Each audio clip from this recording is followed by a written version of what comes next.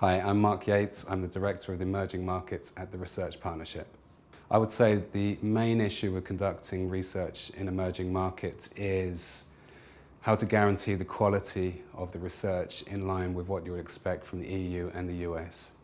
The implication for pharma is the importance of emerging markets is suddenly growing and therefore there's a greater need for quality data, quality insights to go into their forecasts. First of all, you have to make sure the moderator understands the disease area. It's not enough just to understand the questionnaire. They need to be familiar with the terms, with the drug names, both the branded and the generic names. They need to understand the different levels or severities of the condition the different treatment options so that when they're talking to the doctor, they can really probe, they can pick up on cues, they can really have a two-way conversation.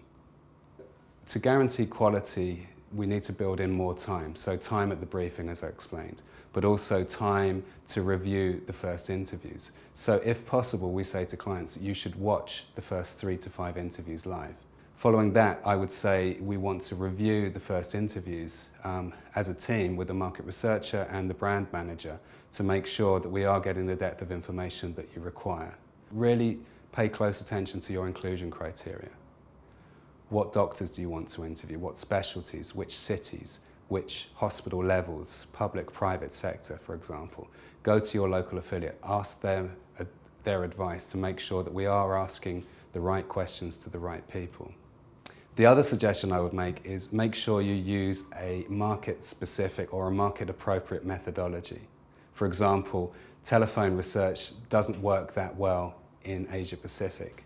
Um, the other point would be online panels are good in EU and US, but they're less good in emerging markets. The other point I would make is that we have to understand the local guidelines. So I'll give you a quick example. In Korea, the physician incentives are limited to 100,000 Korean won, around 90 US dollars, and this might impact the different methodologies that you might use.